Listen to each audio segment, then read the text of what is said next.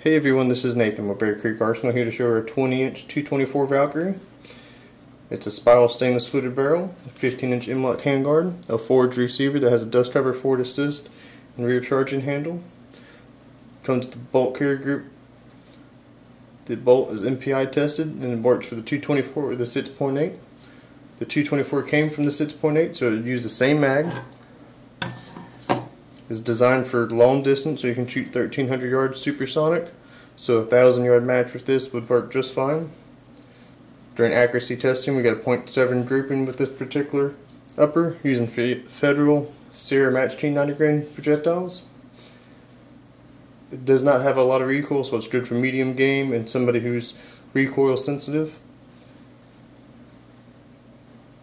With the MOA guarantee and the limited lifetime warranty, it'd be a great setup for just about anybody wanting to add to their collection. We're going to take it to another part of the video here soon. Part 2 will show us at the range shooting past 100 yards, get you some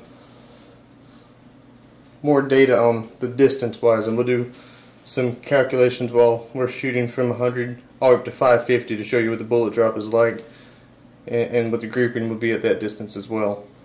This has been Nathan from the BCA Bear Den. Thank you for watching.